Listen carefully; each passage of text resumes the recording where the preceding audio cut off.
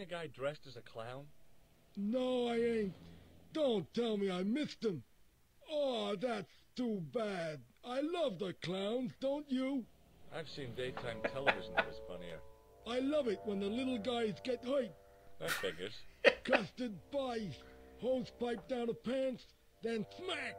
Wait, are, are we talking Kisser. about clan? Uh, Plank and the later. Kisser? Yeah, I, I don't think he's talking about clowns. first. He's talking about gay porn stars.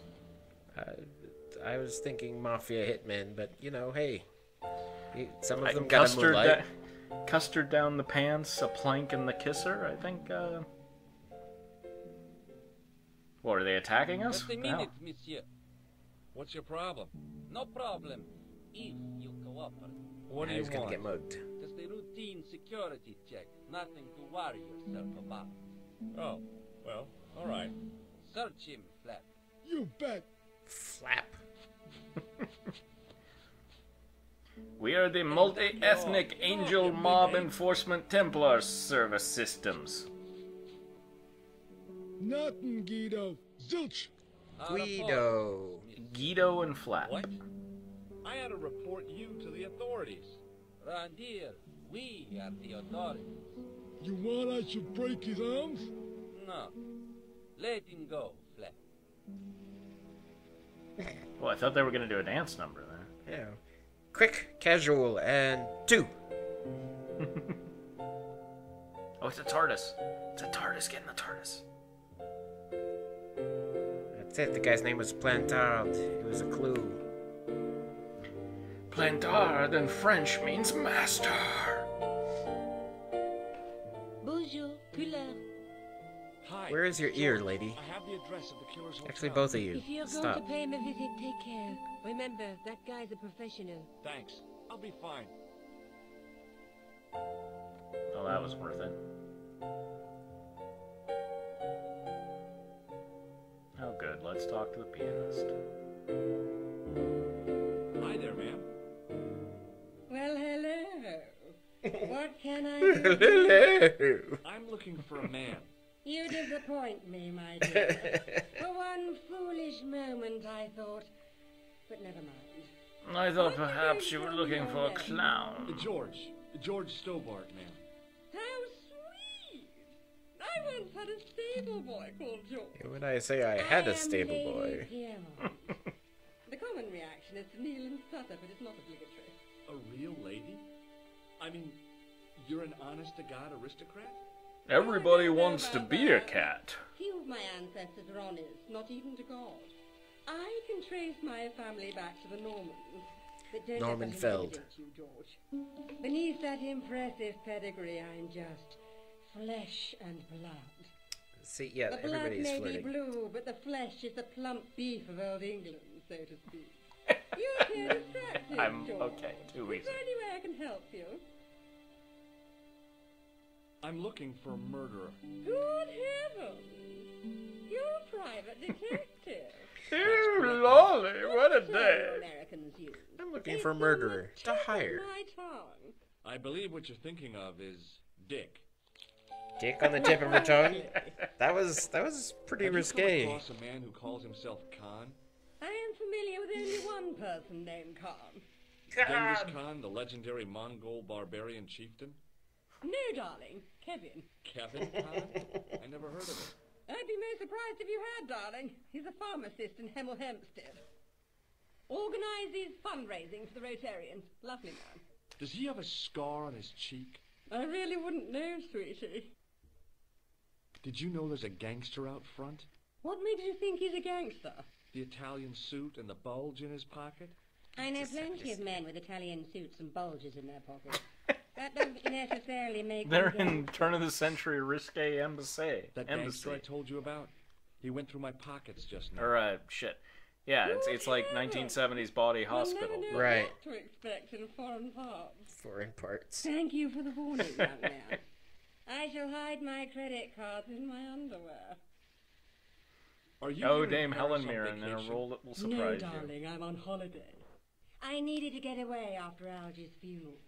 I didn't realize you were mourning the loss of a loved one. I'm not. He was my husband. I'm sorry to hear about your husband's death.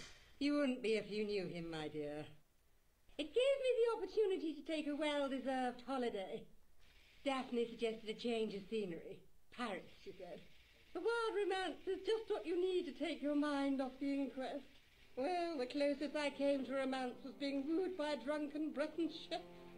I must say I was disappointed with his coq au vin. Wow. Not at all what I was expecting.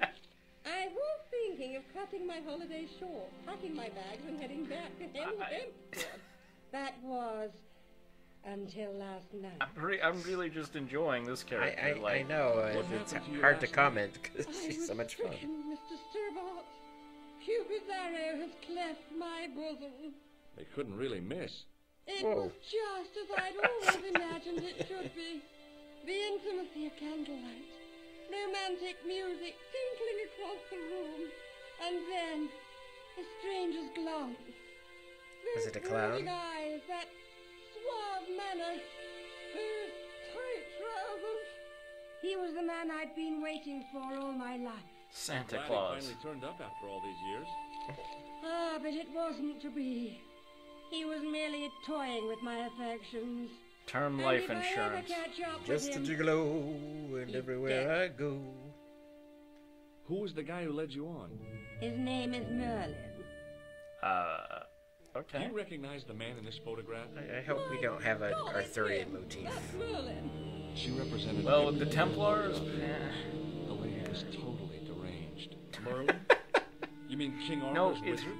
The word you're looking for is flirtatious. Sure, Merlin is a fellow guest. He's the man I've been telling you about. That's the man who spurned me. Spurned who? The man you know as Spurn. Merlin is a fake. What do you mean, sweetie? He's a She murderer. already knows the he fake. also uses the name Khan. Khan! I am shocked, Mr. Stobart. Shaken. But Not not stirred. stirred. A gentleman. A man of honor.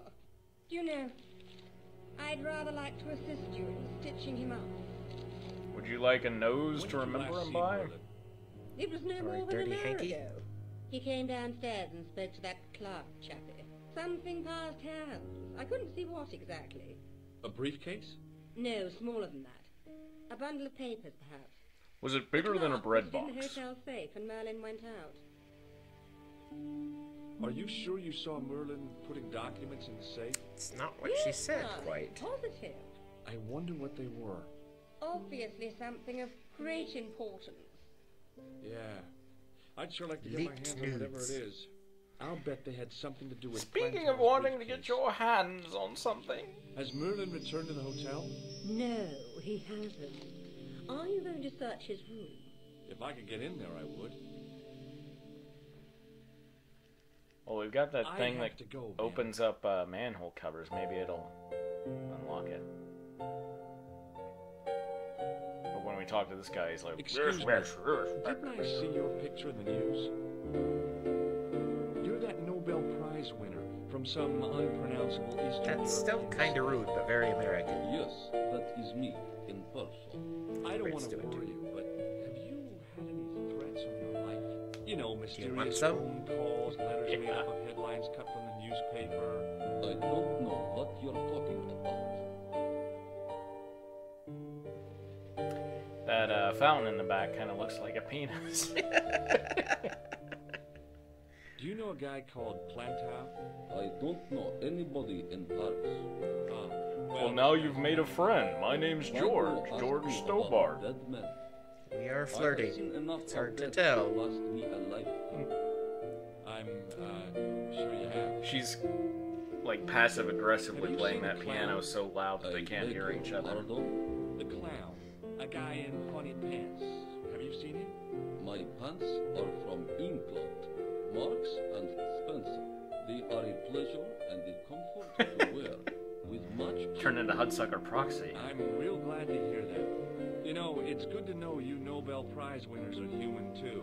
In my country, the people make do with string and egg cartons For what? Pants? Oh. for everything. Oppression is the mother of ingenuity. So did he win a Nobel Prize for use of Thanks string and egg cartons? Goodbye. It sounds like it.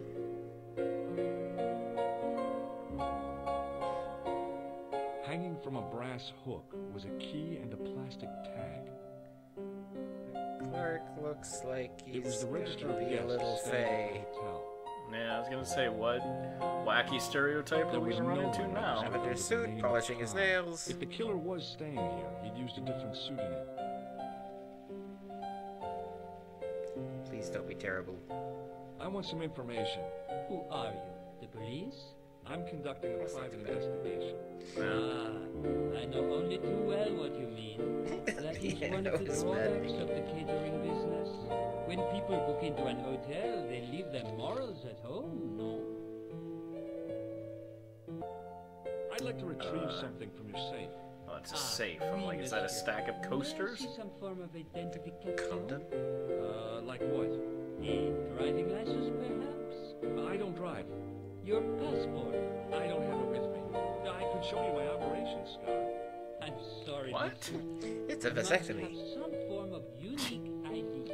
You won't find a more unique ID than my scar. I'm sorry. I must insist on a more traditional identification. Rats.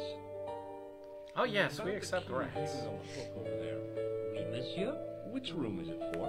Number 21. Is that room taken? No. The guests checked out this morning. I'd like to check into room 21. That is not possible.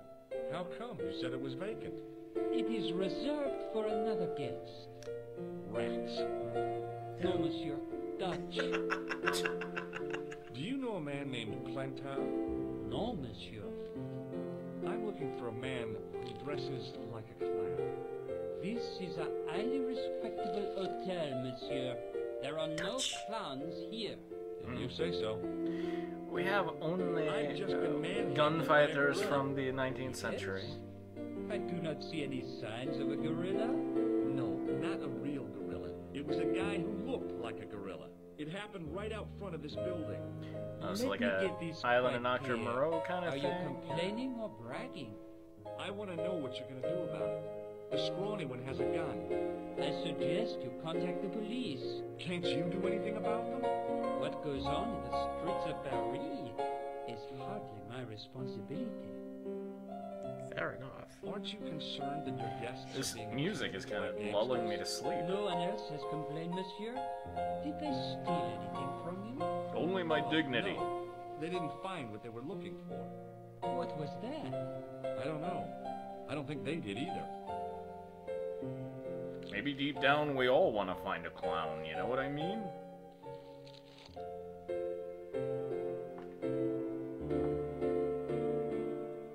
I bet we could stand here for hours and he would never Yes, finish that paper. That man is one of our She would never finish that piano What name? song I cannot tell you that. Thanks for your help, buddy. There was no one registered under the name of Khan. I the name in Dutch the book now. for room 22 was Merlin. Oh yeah, maybe we're gonna meet the Dutch person and we can buy him off or something. Or, or we just steal their ID. Because Merlin's in 22 and that's 21, so. Hello, George. What can I do for you now? Perhaps a dirty limerick. Would you limerick. distract the clerk while I borrow a key? Are you asking me to aid you in a criminal act, darling? Oh no! It's the key to an empty room. And why, may I It's ask, still a criminal wish to gain act, George. To an empty room? Do you plan to squat? No, ma'am. Scouts honor? I was never in the Boy Scouts, ma'am. Oh, you should have been. What were your parents thinking of? It's a fine way for a boy to get licked into shape. now uh. tell me, why do you want to get into that room? I'm hoping it's the key to Merlin's room. But it's Well- not, we know that. How can I refuse? I shouldn't Maybe it's the kind of hotel room that has an adjoining use in this Door to the next room? But a good dose of English Hmm. arrogance might do the trick.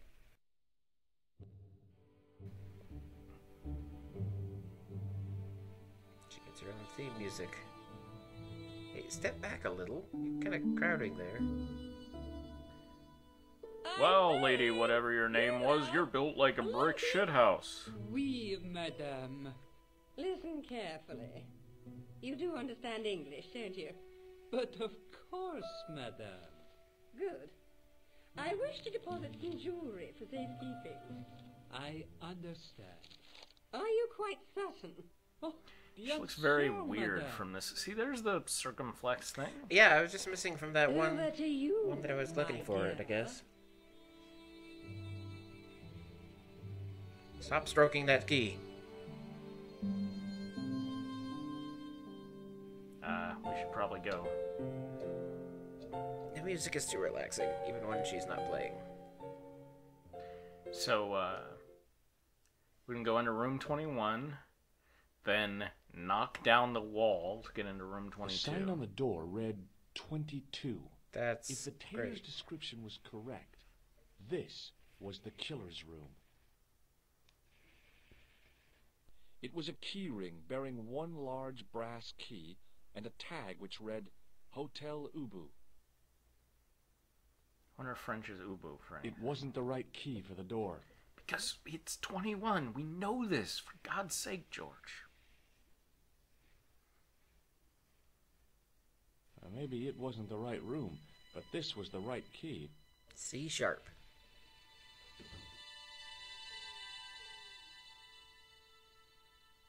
Oh, we're gonna do the we're gonna do the Gabriel Knight thing. We're gonna sneak out the window. Looks that way. But first, we've got to go look in a closet and get some rope. Or maybe George is more daredevil. Yeah, this will be fine. The cobbles of the alleyway looked very distant and very hard. Oh, I wanted Lady What's Her Name to pop up there and be like, "Did- "What did you say, dear?" Well, hello. That's the same room. Pretty close. Very distant and very hard. That's the The problem. bed It's always one or the other. larger than the narrow cot I'd been given at the place I was staying. Or wait, it's always, it's never one of. Damn it. Whatever. Why would you go out into the hall? So you could see him. Oh. Yeah, and then we gotta like hide under the bed so we can hear a phone call or some shit. Get in the I closet. had Get in the the closet. kind of feeling in my stomach that would usually send me running to Guess the bathroom. maybe he has psychic intuitions too. I had a lot of kidney stone issues. Not my kidney stones. I just collected them on eBay. And then I kept chewing them. Terrible habit. Hide himself in the trousers? that face. Go. Well, thank goodness he got in here with me. Oh, no, there he is. Okay. You're gonna watch him change, aren't you? What age is George supposed to be? In those shots, he looked like 50. Yeah, he did look a lot older in the in the cabinet. Quick, steal his underwear. Okay.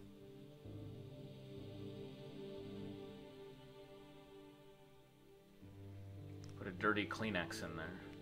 I couldn't believe my you're just luck when I found two him. items in the pockets of the pants. The first was an ordinary matchbook. No matches, no clues. The second was a pass card which read Thomas Merlin, Gruber Electronics Corporation. Oh, alright. You could probably just leave by the door. Then I set his bed on fire.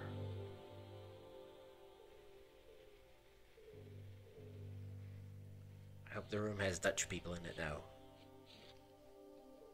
Now, how would they get in? We took the key. We must have a general pass key. Yeah, but what would they give the Dutch people? Chocolate. Just leave the door or just leave the window open. Birds might come in and shit all over the place. It's Paris. They don't care about bird shit. Uh, alright. Fair enough.